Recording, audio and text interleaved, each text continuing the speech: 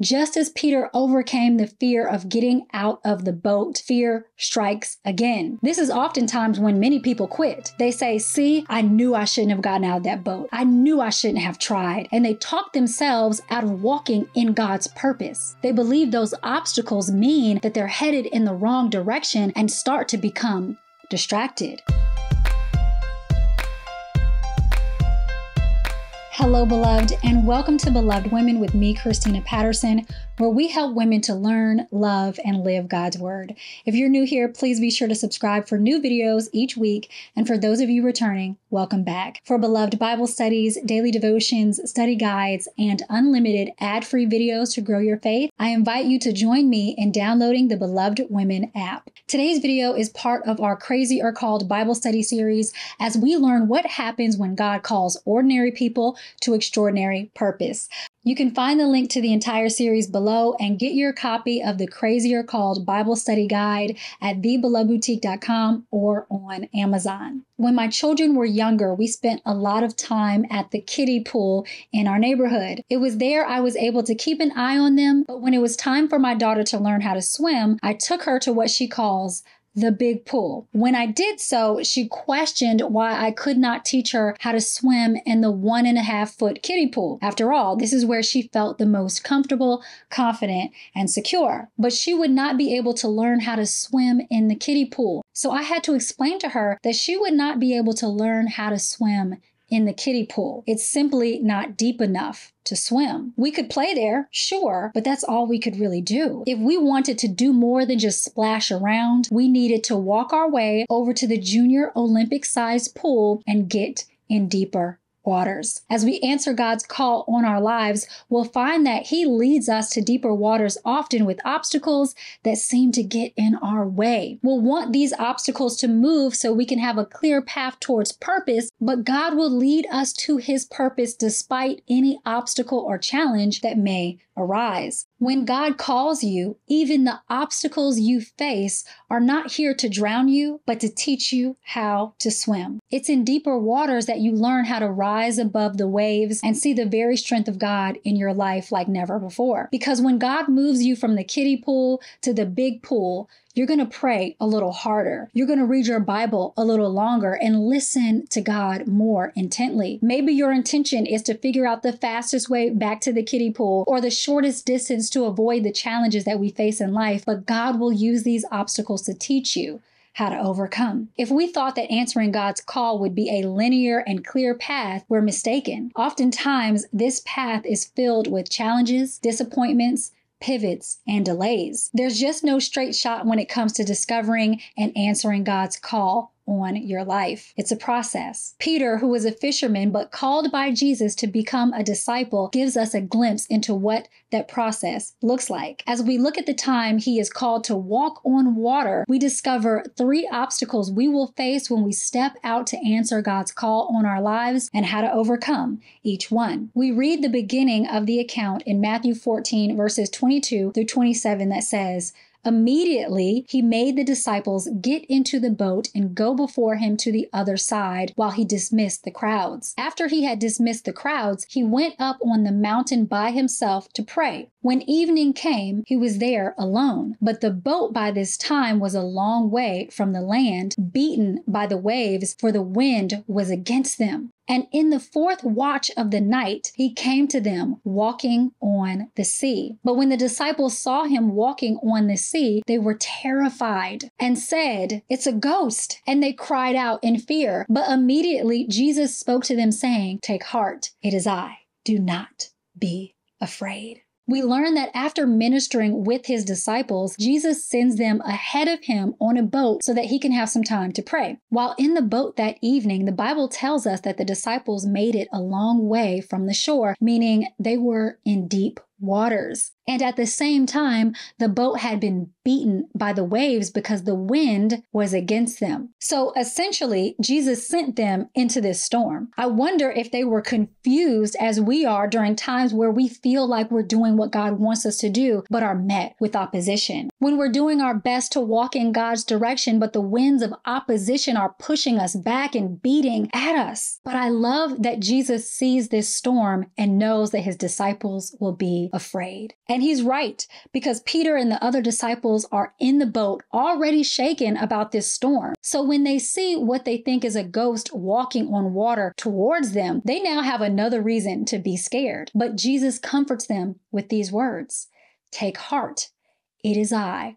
Do not be afraid. Fear is often the first obstacle we must face when it comes to answering God's call on our lives. Fear of the unknown, fear of failure, fear of the opinion of others. It all stops us from walking in our purpose, which is why over and over again the scriptures tell us do not fear. This command always comes with a promise. Whether God was talking to Joshua before he led the Israelites into the promised land, or when he was directing the Israelites in Isaiah, or comforting David in the Psalms, the call not to fear is always accompanied by the promise of God's presence. As Jesus called the disciples into deep waters and into wind and waves that were against them, his presence was the reason they did not have to fear, and the same is true for us. Notice that the disciples weren't only afraid of the waves and the wind, but when they didn't recognize Jesus at first, they were afraid of him. They thought he was a ghost. Many times we have fear when it comes to answering God's call on our lives, especially when we don't recognize who God really is. To overcome fear, it's not enough for us to simply know that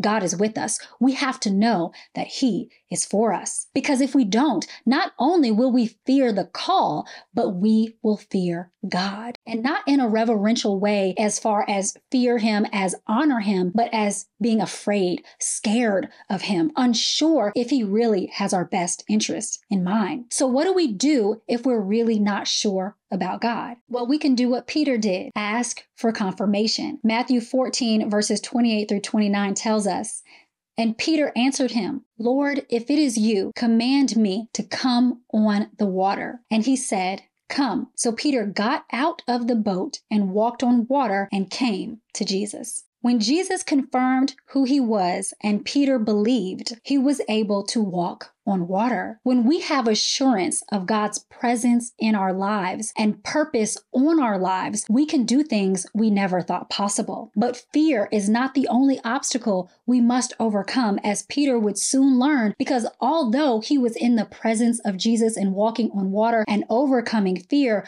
the winds and the waves did not stop. There would be more obstacles to overcome. In Matthew 14, verses 30 through 33, we read, But when he saw the wind, he was afraid and he began to sink and cried out, Lord, save me. Jesus immediately reached out his hand and took hold of him, saying to him, O you of little faith, why did you doubt? And when they got into the boat, the wind ceased, and those in the boat worshiped him, saying, Truly, you are the Son of God.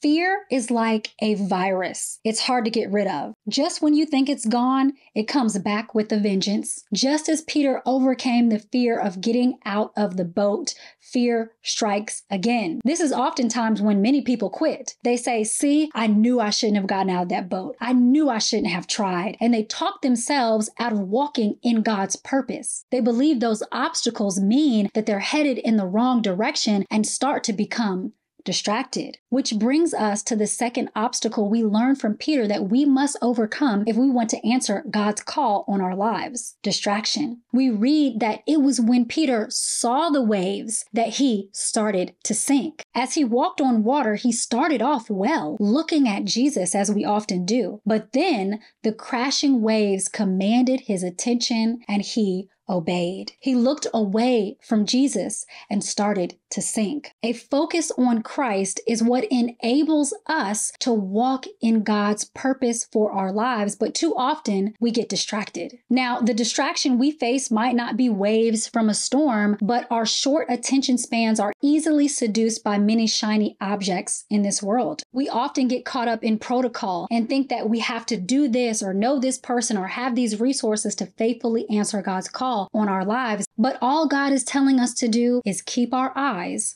on Him. We can make things complicated by looking at distractions when all Jesus told us to do was seek first the kingdom and that everything else would work itself out. When we're not focused on God, we'll find ourselves trying to help God out by doing things that He didn't call us to do. And what we're really doing is sinking because the goal of the call is the journey towards God. And once we lose that focus, we are no longer on our original mission. The waves and the wind will always be there, but so will Jesus. And so we have a choice as to where we will look. Will we compare ourselves to others and try to do what they do? Will we Google search all the answers and not consult God? Will we believe our challenges are greater than God because they sure will look that way if all we do is stare at them and not God? To faithfully answer God's call on our lives, we need to look straight ahead to make eye contact with Jesus and trust that no distraction is worth our attention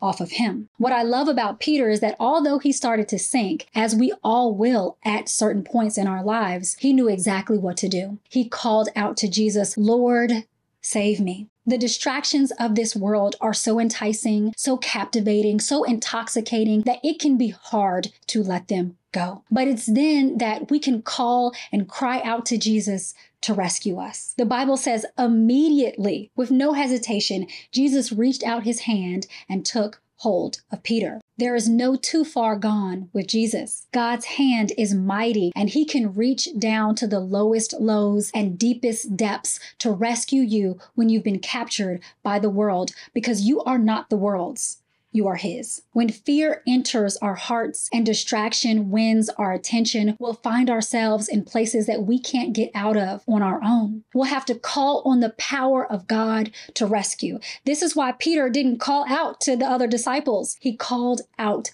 to Jesus. I think sometimes we're hesitant to call out to God because we're ashamed. We have to be humble enough to ask God to dig us out of holes that we dug ourselves. There is someone who's distracted, who's off course, who's lost their way, but Jesus has not lost you. Call out to him so that you can see that he's been with you the entire time, waiting for you to take his hand, ready to pull you up out of deep waters. It's what Jesus says to Peter after he rescues him that reveals our final obstacle that we must overcome to answer God's call. He says, Oh, you of little faith.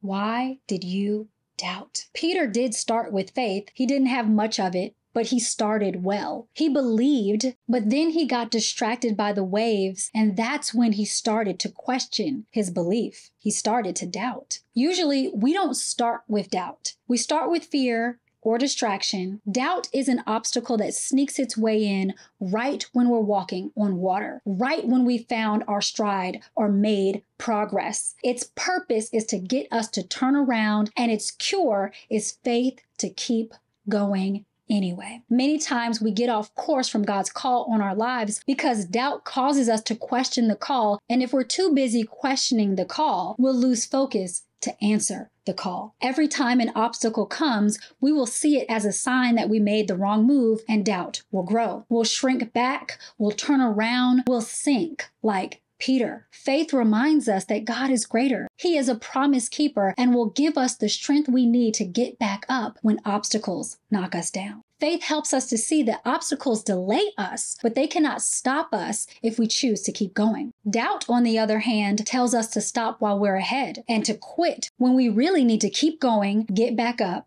and try again. The Israelites marched around Jericho seven times before the wall fell. Elijah sent his servant seven times to look for a sign of rain before they saw it. Hannah prayed over and over again for a son before she conceived. Sometimes you have to go again over and over again to get to where it is that God is calling you. We want the journey to be a straight shot, but God is more concerned with working on our hearts than simply getting us to a desired destination with the shortest route possible. Sure, doubt is going to make you want to quit. The enemy will be right there in your ear telling you to give up on that marriage, give up on that dream, give up on that business, give up hope for that child, and the weight of serial failure will make you want to stop. But if we're talking about something that God is calling you to, if it's about experiencing the manifestation of God's promise in your life, then you have to go again. Because if God's hand is on it, the enemy can only make you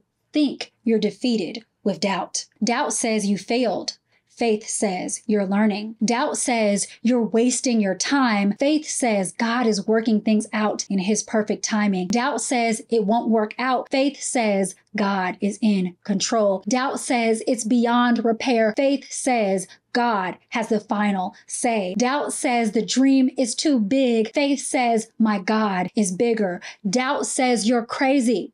And faith says you're called. Jesus rescued Peter. They returned to the boat, and it was then that the wind stopped. Jesus could have stopped the wind and waves to make Peter's walking on water more comfortable, but he didn't because he didn't want Peter to rely on everything being perfect, but on him. God will allow winds and waves into our lives, even as we are obediently following him to remind us it's not a perfect life we need, but him alone. Peter's call to walk on water wasn't simply about walking on water. As miraculous as the experience was, there was a deeper purpose. Jesus needed to teach Peter a very important lesson, a lesson we must all understand. Obstacles will always be on our path towards purpose, but they are not always there to get in your way. Sometimes they are the way. Stay tuned for a sneak peek at next week's video brought to you by our beloved women members who support our mission to empower women with the love and truth of Jesus Christ. Our members receive exclusive access to Beloved Women videos, Bible studies, printable study guides, and more. If you like Beloved Women, you will love being a Beloved Women member. Learn more and join today at belovedwomen.org. Now enjoy a preview of next week's video. Paul was great because he wasn't focused on being great. Throughout his writing, there is a common theme of humbling himself so Christ could become greater through him. In one of my favorite scriptures in Philippians chapter 3 verse 8, Paul writes, "Indeed, I count everything a loss because of the surpassing worth of knowing Christ Jesus, my Lord. For his sake, I have suffered the loss of all things and count them as rubbish in order that I may gain Christ. This is an important lesson for all of us. We don't have to be great, have the biggest following, be the best, or have the most to successfully answer God's call on our lives. Many times, those things can get in the way. So, we need to learn how to humble ourselves and focus on making God great, not us. If you feel unqualified, it might be time to take the focus off of your weakness and focus on Christ's strength and power. Paul learned that coming under a call greater than yourself is actually a good thing.